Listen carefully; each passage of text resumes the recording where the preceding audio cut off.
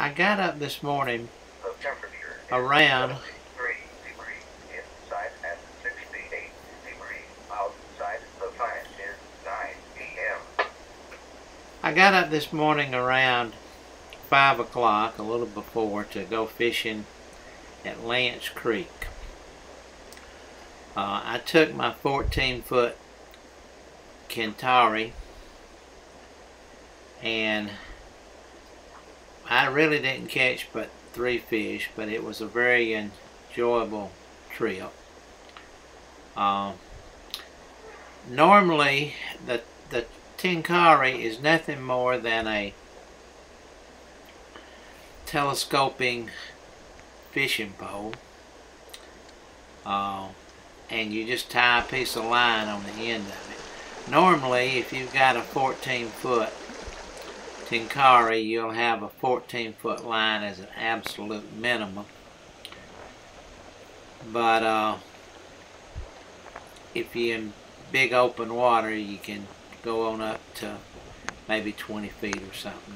And basically, you use it like a fly rod. Uh,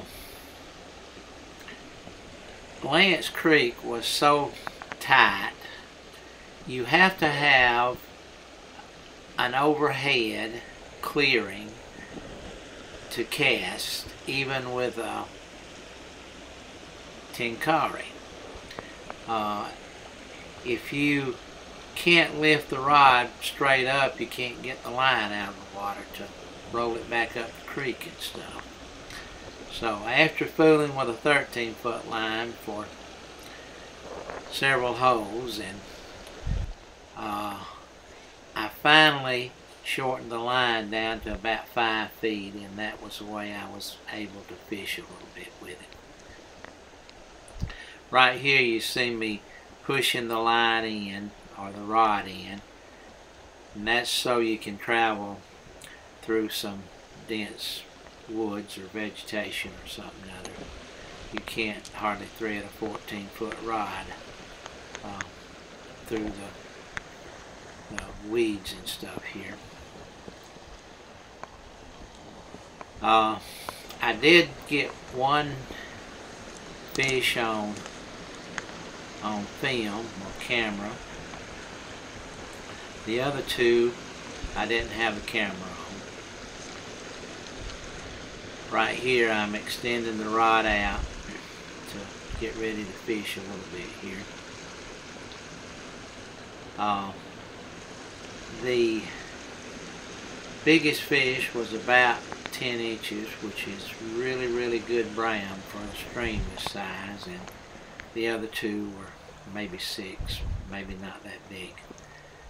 20, 25 years ago, this creek was just absolutely full of little browns, but nobody bothered with them. They were just too small to fool with and stuff. Uh, I caught a 24 inch brown out of where this creek runs into Jones Creek a couple of miles down. A little bit bigger water. That's where we always fish, but uh, things have changed a lot. The, the fishing in Lower Jones is, is very poor and it's really gone downhill in the upper sections of Jones and Lance. But there's still a few fish in there, or there's three anyway. And I was fishing with a dry fly. I could have probably caught a few more fish if I'd used a nymph or a woolly worm. But I just really enjoy seeing the fish come up and take the take the lure. So I'm right now, till I change my mind, I'm resigned to fishing with dry flies.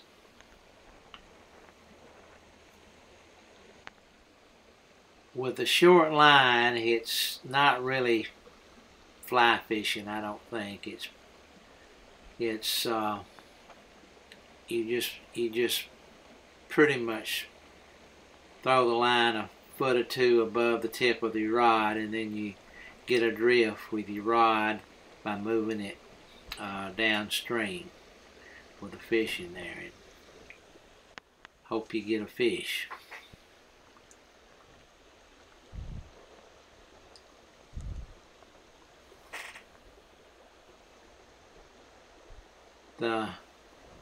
In this street, uh, this stream, Lance, is you've just got stuff overhead so much that it's just very, very hard to get a decent cast. This is sort of an open place right here, and I believe if there was nothing overhead, a 13 foot leader would do really well, and you could throw it about 13 feet up the hole and have 14 on the rod, and that's almost a 30 foot cast, which is uh, a good cast for a fly rod, you know, and stuff. I didn't see a single fish though that I scared uh, wading up the creek or anything, and very few holes, but what you could see the bottom in. So I just, I really don't think the fish are there. I'm taking the rod down now again to, to move on to a different place. When you have a 13 foot line, you have to roll it up a little bit, but with about a five or six foot line, you can just uh, leave the rod sticking out maybe six feet and, and work on it that way.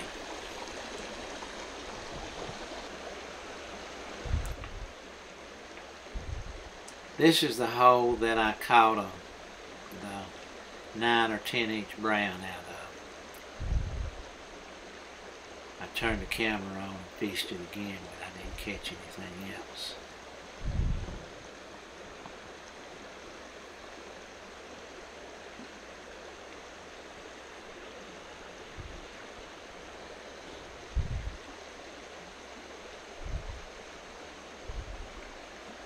If you skill with a fly rod, you might do a little bit better. Uh, it, it really depends on the hole. Some holes you can only fish it with a very short line. Uh, if you've if you've got room to bring the rod up overhead and stuff, even if there's overhanging bushes, you can slingshot it, uh, use, hold your line, and uh, shoot it in there with uh, with uh, bent rod, and that's that's real easy to do, and uh, that's a good way to fish if there's just overhanging cover. Over the hole. But again, you got to be able to lift the rod and uh, uh, to cast with a fly rod or tenkara, either one.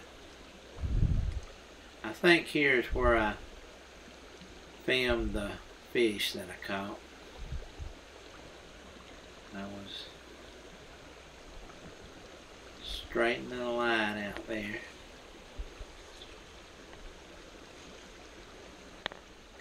You can see it come up sort of at the end of the hole down here.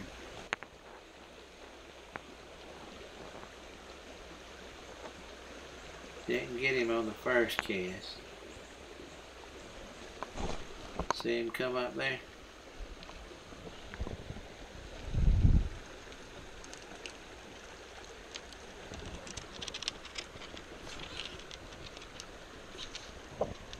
My line's so short I had to move the rod in to be able to catch the line here. I had a tough time getting the hook out. I like to forgot to wet my hand before I caught the fish.